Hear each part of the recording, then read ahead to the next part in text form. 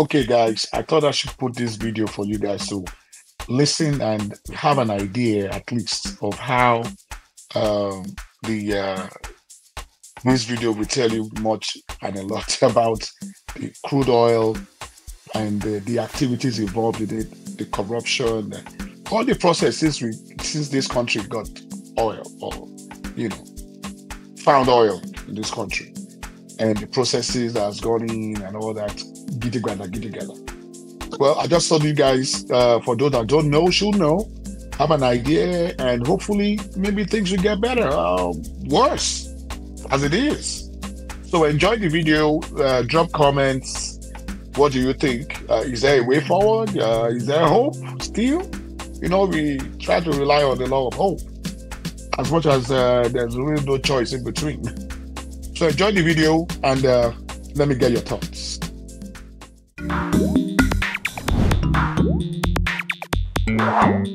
What are we doing, sef? Nigeria has been a big oil producer for decades now, but very little of that oil has been refined. So you have this absurd position where Nigeria pumps oil, sells it abroad, and then re imports it in, in the refined products that it needs. The idea in theory is that if you have a refinery that operates locally, you would be able to pay in the local naira currency and reduce quite a substantial amount of your dollar exposure.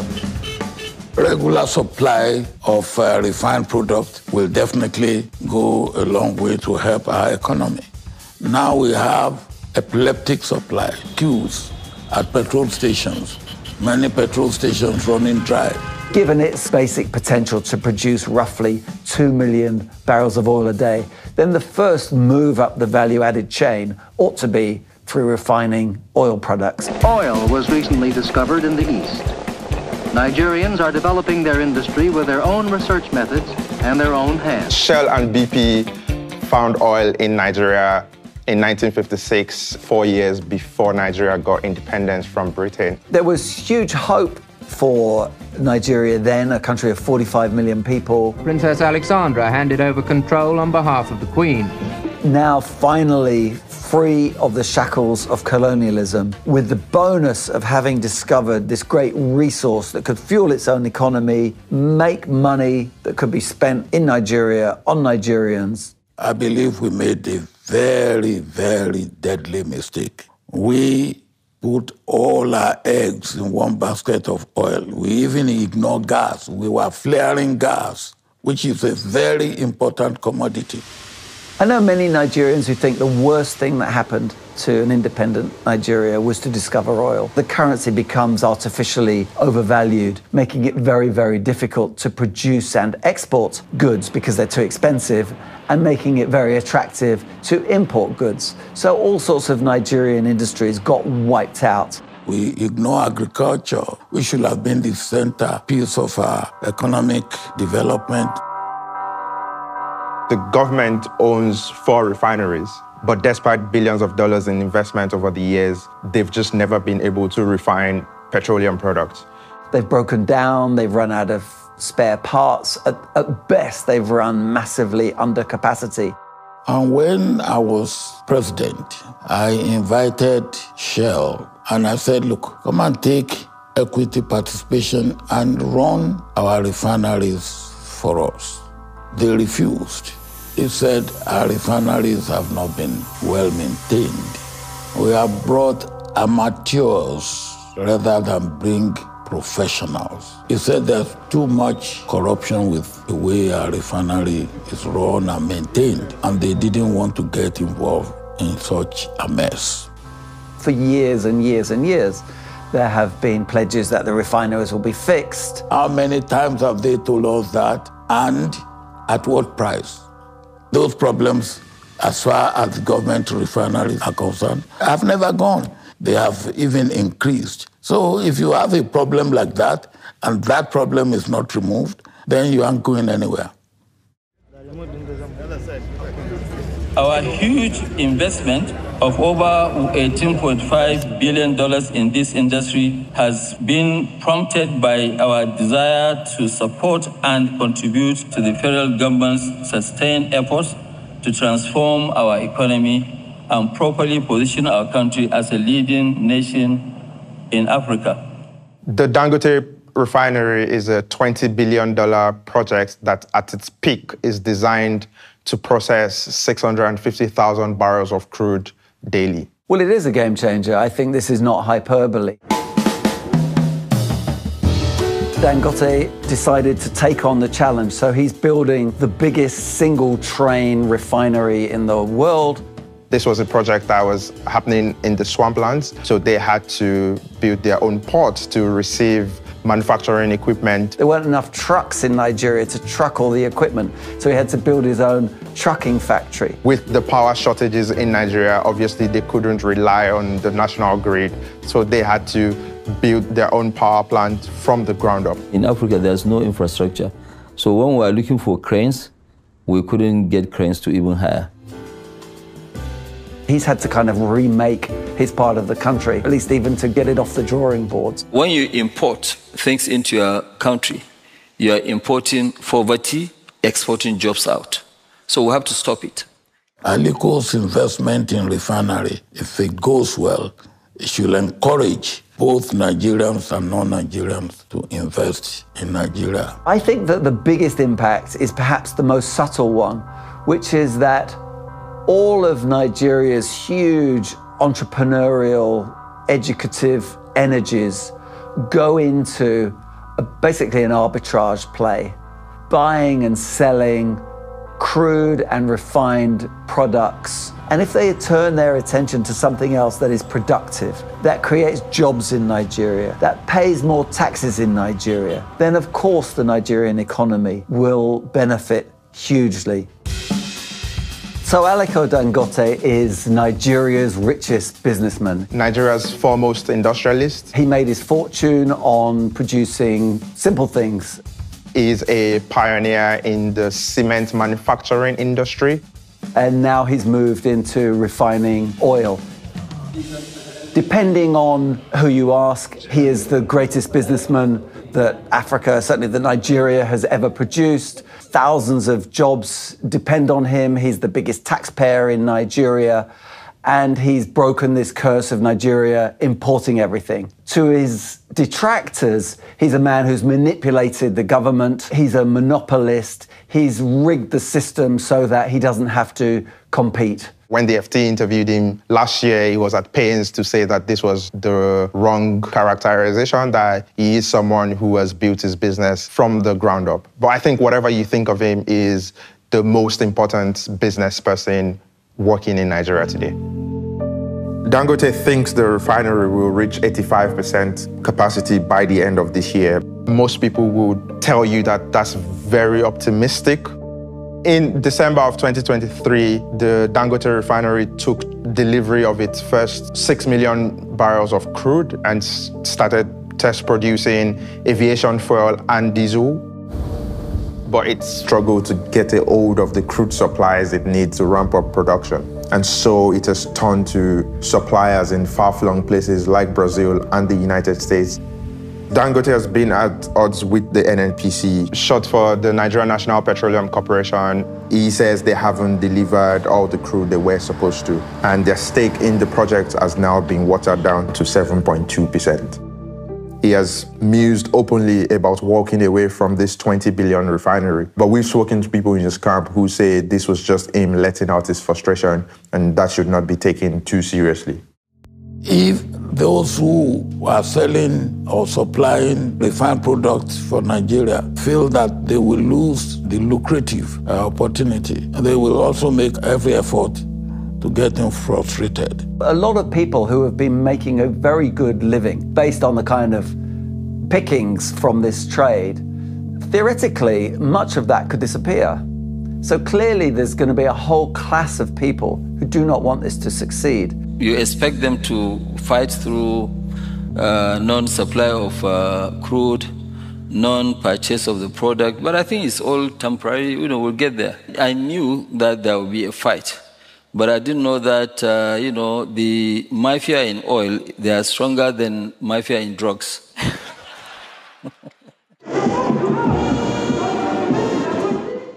the first subsidy is gone. For years, fuel subsidies have kept fuel prices artificially low, and one of the first acts of this government was to remove the fuel subsidies. So the day that we heard that like the government was removing fuel subsidies, that day we had a crisis. The riders couldn't get fuel. Filling stations actually stopped selling fuel, and some increased their prices. So there was a kind of panic. Since yesterday morning, we have been here. Chowdeck is an on-demand delivery platform for Africa. We are currently live in eight cities in Nigeria today. As at last week, we do over 20,000 deliveries every day now. Sometimes I use a bicycle for my work, sometimes I use a scooter, depending on which one is available to me part time, as well as availability of fuel. We're now investing heavily in hiring more riders that have bicycles, partnering with e-bike companies, and just ensuring that like we have non-fuel-based means of delivering orders for our customers. If delivery prices are increased too much, it might turn off people that use the service. They might not want to buy. So that means you using the fuel, you're the one that has to spend more. How long? How long? We deliver food from restaurants, medicines from pharmacies, grocery from supermarkets. People started like ordering for those things on Chowdeck because it was actually cheaper to transport those things from the market to their house than them entering bus or public transport to go deliver those items. On a typical day on Chowdeck, I can do 10 orders, sometimes 12. I can make within uh, 8,000 to 10,000. And I've seen a day when I made like up to 12,000. There's always crisis to fight every time as a business owner. So I think that's the excitement of trying to build a company in Nigeria. I'm not excited by the crisis. I hope crises don't happen. But when they happen, it just gives us a chance to like um, be resilient and just solve problems as they come. Yeah. Yes, I think that we are at a turning point. Two hugely important things have changed refining and subsidy. Fuel subsidies are part of the national psyche in Nigeria. I think people regard them as the only benefit they've gotten from their oil-rich country. But this is also a very expensive policy because it means that as the oil price goes up internationally, the amount that you have to subsidize petrol also goes up. The NNPC is a state-owned corporation, although two years ago they said they are now a private limited corporation. If you want to do an offshore deal, you need to do business with NNPC. If you want to do an onshore deal, you need to do business with NNPC. The NNPC is the state agency responsible for paying the fuel subsidies.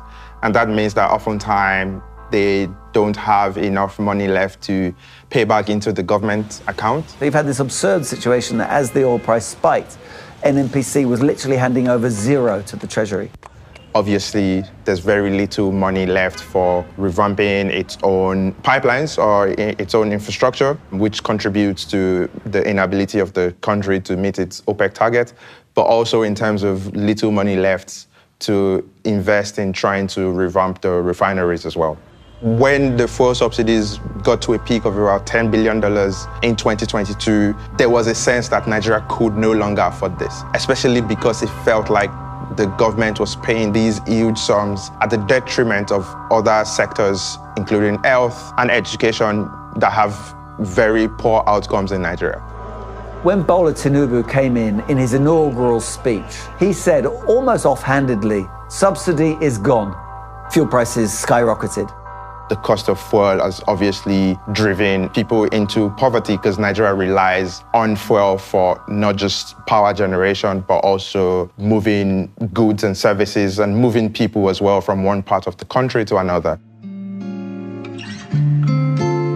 You and I and I, it was perfect timing. My name is Aramide. I am a singer, songwriter, and guitarist been doing music for quite a while. It's my happy place. And we fantasize, I realize. Sing a lot about love and life. It takes them away from what the real problems are. Inflation, no light, everything is expensive. Like it's depressing enough. You were filling your tank with 20,000 naira before, now you're filling your tank with close to 60,000 naira. The moment we'll have been waiting for. Ah!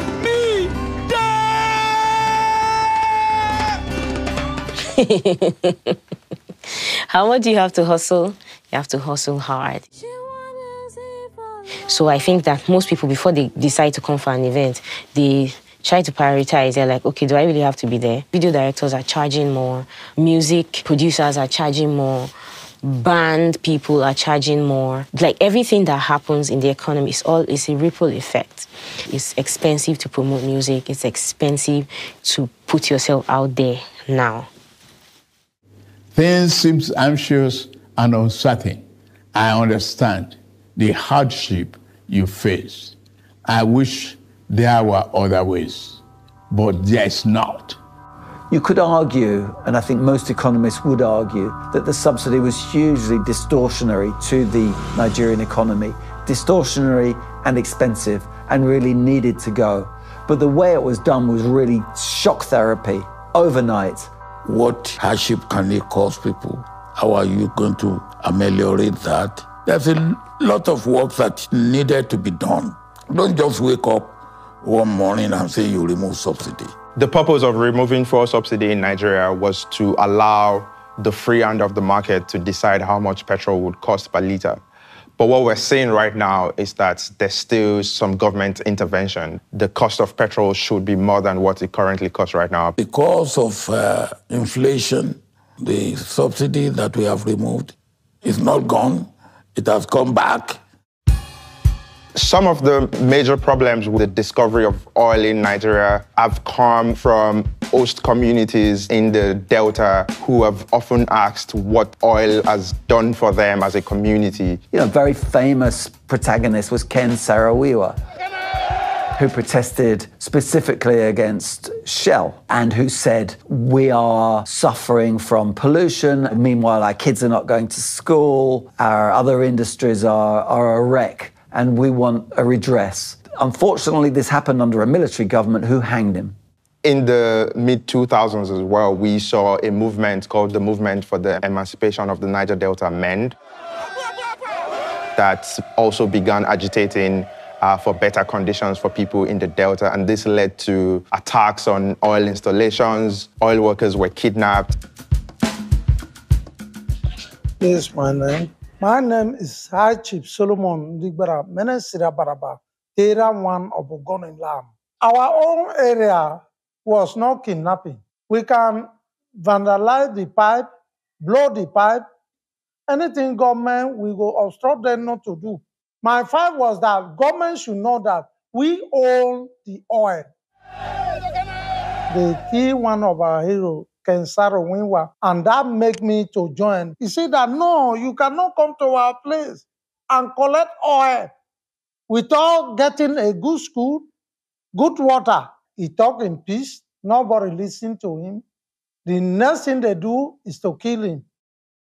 My place till now, government has not able to collect our oil. The reason why we march today is that we want to let people know there's a plan to collect oil from Ogoni.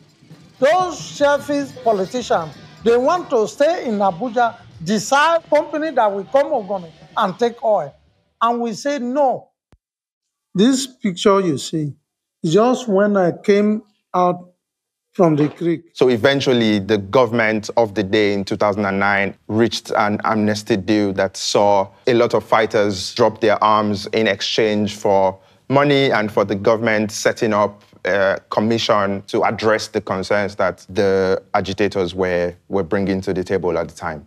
There are leaders of that movement who are now politicians. One of them last year got a contract to help the Nigerian government prevent attacks on oil installations. Sometimes they say amnesty is working. No, some of the people that participate in the struggle never get anything. But when you tell them, let us make peace, then tomorrow they have something doing. They will continue the peace. And the type of country, Nigeria, country they can pay bribe. If they see God, they for don't bribe God. When I see that the whole things that federal government said they will do to me, they did not do anyone. I decide to open a mill where I do oil so that I can train my children and do other things. See, all here is the palm fruit. That's what I did. Nigeria politically is a complicated country anyway. You could argue that it was sort of cobbled together under British colonialism. So there's not necessarily this inbuilt sense of national unity. So if you have nine states where the oil is concentrated, it's quite natural for those states to say, well, hang on, isn't this ours? And yet what happens in the, in the Nigerian kind of political economy is basically the money from oil goes to the federal government, now based in Abuja, who then redistribute. Now, some of it goes preferentially back to those nine states, but this huge dissent my name is uh, Fyneface, Dumnamene Fyneface. I work as a human rights defender and, of course, an environmental activist. Where I'm seated now, if you look behind me, you will see massive environmental pollution. The people have been denied of their traditional means of livelihood. But some time ago in this Bodo community, it was a place that you can see houses very close to the water. You can put your pot on the fire cooking and you come to the back of your house, you throw your net and you can catch fish to put in the same pot that is on the fire. The entire water body is now dead. And there is a need for both local and international attention to be drawn to this so that this place can be cleaned up and the people can have their livelihoods restored.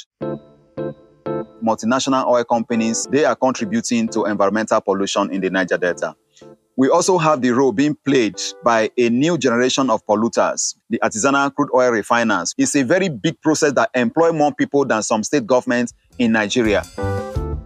They vandalize the pipelines and they get the crude oil. And the youths here don't believe that they steal the crude oil. They believe that they collect the crude oil because they said it is their God-given resources that is under their soil in their land. At least the survival of human being first before environment.